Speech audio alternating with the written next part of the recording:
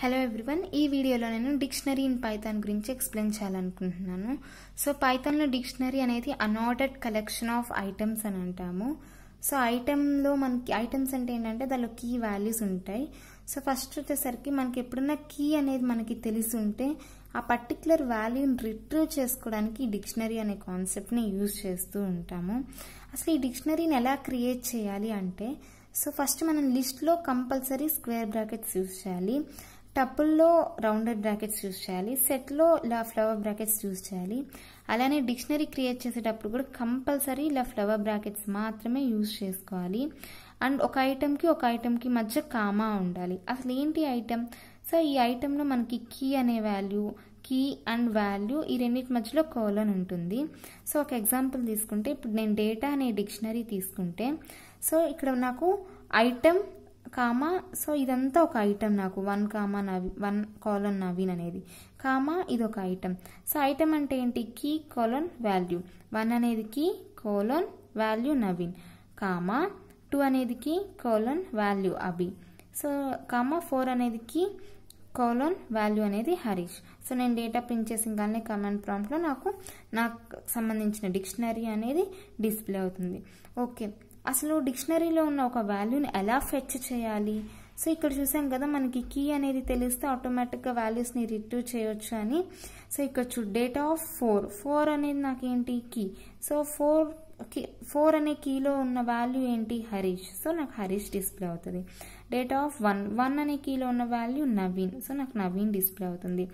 Three data of three three ఇక్కడ three అనే key ఉందా? లేదు. సో కీ ఎర్రర్ అని వస్తుంది. ఎందుకంటే మనకి త్రీ అనే కీ లేదు. ఇంకో వేలో కూడా మనము వాల్యూస్ని రిట్రీవ్ చేసుకోవచ్చు. ఎలా అంటే బై యూజింగ్ గెట్ మెథడ్ ద్వారా యూజ్ చేసుకోవచ్చు. For example data dot get of one వన్లో ఉన్న వాల్యూ ఏంటి? నవీన్. సో నాకు నవీన్ నవీన్ ప్రింట్ అవుతుంది.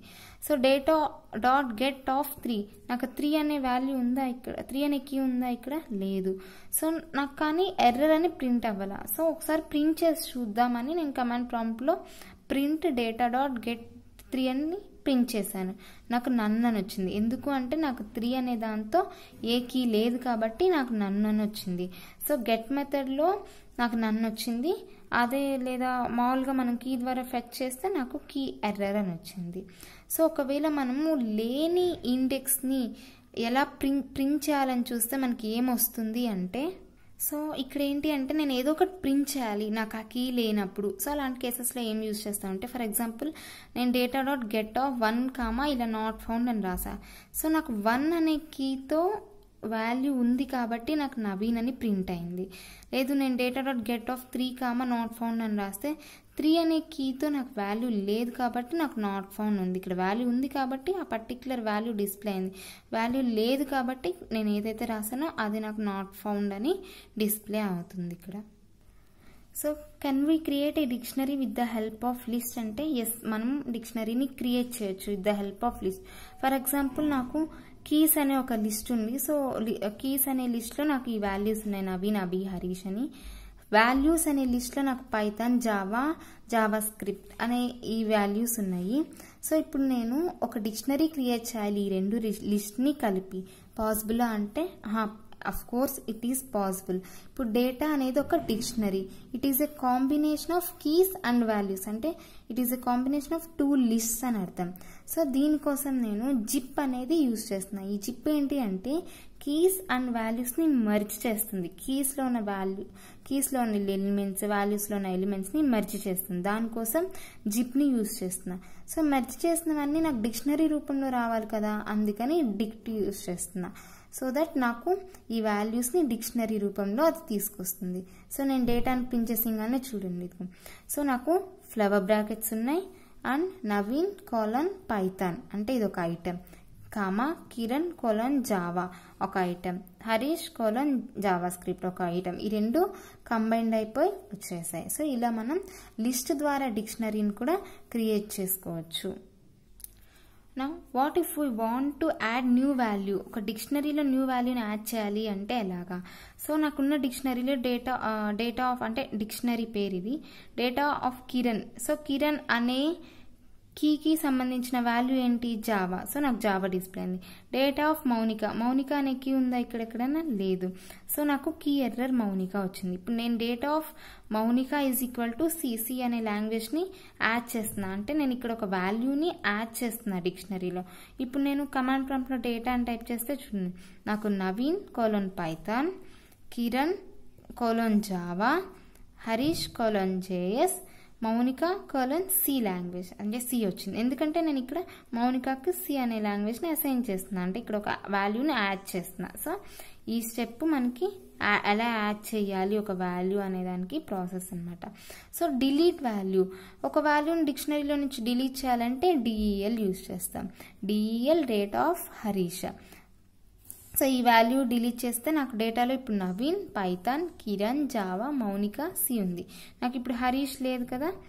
సో హరీష్ జేఎస్ లేదు. సో డిలీట్ అయిపోయింది. అలా మనం ఒక వాల్యూని యాడ్ చేసుకోవచ్చు ఒక వాల్యూని డిలీట్ చేసుకోవచ్చు. సో ఇంకొక ఎగ్జాంపుల్ తీసుకుందాం. డి అనేది డిక్షనరీ అనుకుంటే ఫస్ట్ ఫస్ట్ నవీన్ అనేది కీ కదా? శాంసంగ్ అనేది వాల్యూ సో అలానే key colon value key colon value D అని టైప్ చేసినా నాకు ఫుల్ డిక్షనరీ అనేది ఇక్కడ వచ్చేసింది. ఇప్పుడు నేను నాకున్నవి కీస్ ఏవి కీస్ వీటిలో ఏవి వాల్యూస్ అని ఎలా తెలుసుకోవాలంటే డిక్ష అది ఏవైతే డిక్షనరీ నేమ్ ఉందో అది డాట్ కీస్ అని టైప్ చేస్తే నాకున్న కీస్ అన్నీ వస్తాయి. సో లిస్ట్ ఆఫ్ కీస్ వస్తాయి. సో ఏమన్నాయి కీస్ మనకి? నవీన్ రాహుల్ కిరణ్. సో ఆ కీస్ లిస్ట్ వస్తాయి. డి డాట్ వాల్యూస్ అని టైప్ చేస్తే లిస్ట్ ఆఫ్ వాల్యూస్ వస్తాయి. సో లిస్ట్ ఏమేమి ఉన్నాయి values Samsung iPhone OnePlus so ఆ వాల్యూస్ నాకు ఇక్కడ డిస్ప్లే అయినాయి. సో ఇప్పుడు ఒక క్వశ్చన్ ఏంటంటే నేను ఒక డిక్షనరీని క్రియేట్ చేయొచ్చా? ఆ డిక్షనరీ లోపల లిస్ట్ డిక్షనరీ రెండు ఉండాలి. అలాంటివి ఏమన్నా చేయొచ్చు అంటే అఫ్ కోర్స్ మనం చేయొచ్చు. ఫర్ ఎగ్జాంపుల్ నేను ప్రో అనే డిక్షనరీని క్రియేట్ చేస్తున్నా సమ్ ప్రోగ్రామింగ్ లాంగ్వేజ్ జావా స్క్రిప్ట్కి సంబంధించిన ఐడిఎల్ఈ ఇది. వాటి ఐడిఎల్ఈస్ రాసాను అనమాట సో జేఎస్ అనేది కీ ఆటమ్ అనేది వాల్యూ అలానే సిఎస్ అనేది విఎస్ అనేది వాల్యూ పైథాన్ అనేదికి అండ్ పైచామ్ సబ్లైన్ ఈ రెండు కూడా ఐడిఎల్ఈస్ అనమాట పైథాన్కి అవి వాల్యూస్ అలానే జావా అనేదికి JSE NetBeans JEE Eclipse ఇవన్నీ కూడా వాల్యూస్ సో ఇక్కడ నేను ఈ డిక్షనరీలో ఏం చేశాను అంటే డిక్షనరీలో ఒక లిస్ట్ యాడ్ చేసా సో పైథాన్కి ఇది లిస్ట్. చూడండి ఇక్కడ స్క్వేర్ బ్రాకెట్స్ ఉంది అంటేనే అది list. PyCharm comma Sublime. Two elements list. అంటే ఇక్కడ నాకు ఒక లిస్ట్ ఉంది. ఒక ఇది ఇదంతా ఒక డిక్షనరీ. డిక్షనరీ లోపల ఒక లిస్ట్ ఉంది. అండ్ మొత్తం డిక్షనరీ లోపల ఇంకో డిక్షనరీ ఉంది. ఇదిగో ఫ్లవర్ బ్రాకెట్స్లో మళ్ళీ value key colon value key colon value అంటే ఇది ఒక డిక్షనరీ. అంటే నాకు ఫుల్ ఒక డిక్షనరీ లోపల ఒక లిస్ట్ ఉంది. అలానే ఒక డిక్షనరీ ఉంది. సో ఇలా కూడా మనం యూజ్ చేసుకోవచ్చు. ఇప్పుడు కమాండ్ ప్రాంప్ట్లో ప్రోగ్రామ్ టైప్ చేసింగానే నాకు మొత్తం డిస్ప్లే అవుతుంది. అంటే లిస్ట్ లిస్ట్ డిస్ప్లే అవుతుంది అలానే డిక్షనరీ కూడా డిస్ప్లే అవుతుంది. మొత్తం మనం ఎలా అయితే ఉందో అలానే డిస్ప్లే అవుతుంది. సో ఏంటి అడ్వాంటేజ్ ఇలా యూజ్ చేయడం వల్ల అంటే ఫర్ ఎగ్జాంపుల్ నేను ఇప్పుడు program of JavaScript so JavaScript అనేది లాంగ్వేజ్ దానికి సంబంధించిన ఐడిఎల్ఈ ఏంటి? యాటమ్ డిస్ప్లే అవుతుంది. ఈజీగా మనకి వస్తుంది.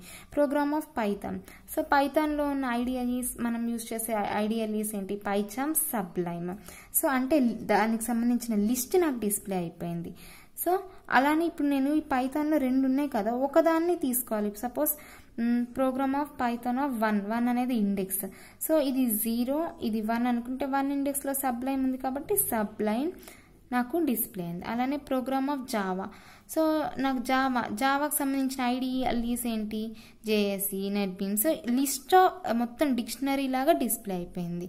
సో అలానే ఇప్పుడు నాకు నేను program program of Java of JE click చేశాను అనుకో.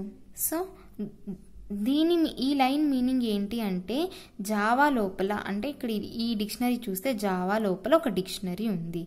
సో ఈ డిక్షనరీలో జేఈఈ అంటే ఇక్కడ జేఈఈ అనేది ఒక కీ.